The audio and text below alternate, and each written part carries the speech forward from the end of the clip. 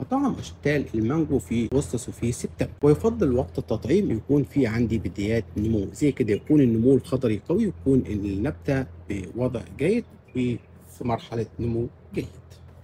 مبدئيا ده مقص التطعيم ولكن مش بالضرورة يكون عندي مقص وعندي عدد. أي وسيلة هبدأ في بها في عملية التطعيم.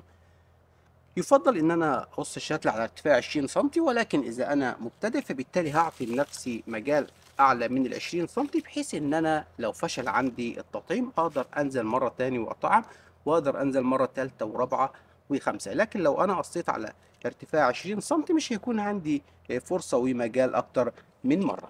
فبالتالي هاجي على نفس الارتفاع وهقص بأي مقص مش شرط مقص التطعيم. نفس الطريقة. لو أنا عندي مقص تطعيم فالأمر سهل جدا هيكون بالنسبة لي هبدأ آخد المقص وهقص بمقص تطعيم ده الفرع اللي أنا قصيته وده مش هنستخدمه في عملية التطعيم. إحنا هنستخدم فرع يكون من شجرة مثمرة وصنف يكون إحنا حابين نطعم بيه. أنا هنا هطعم بمانجا عويسف لو أنا عندي مقص التطعيم هجيب المقص وأبدأ. بص. وهرجع مرة تاني آجي على الشجره عندي.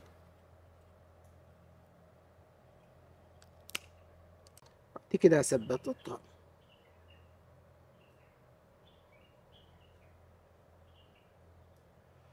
بعد كده هاخد التيب أو بلاستيك أو أي شريط عندي هثبت فيه تطعيم.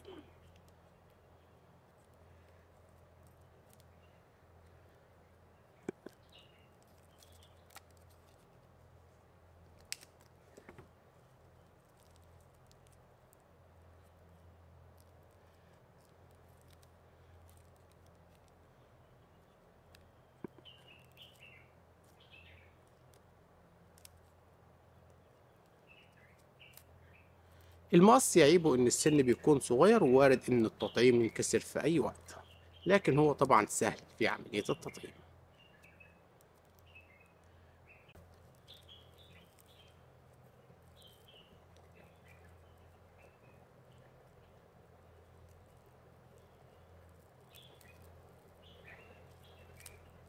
بعد كده أجيب البلاستيك وهقفل على كل ده عشان وكل ده عشان أحتفظ بالرطوبة. ضروري جدا احتفظ بالرطوبة يهم يلتحم مع الأصل.